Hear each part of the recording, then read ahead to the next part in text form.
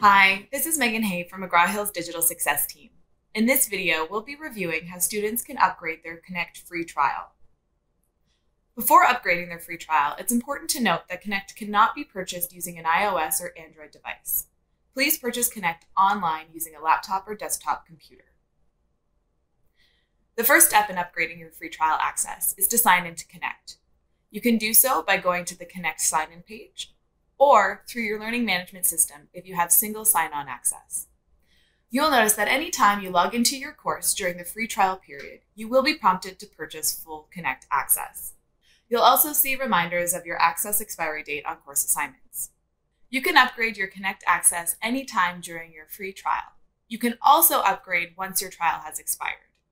When you're ready, you'll click Yes, Purchase Access.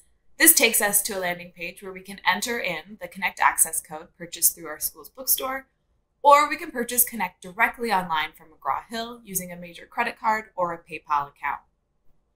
You'll enter in your code and click Redeem.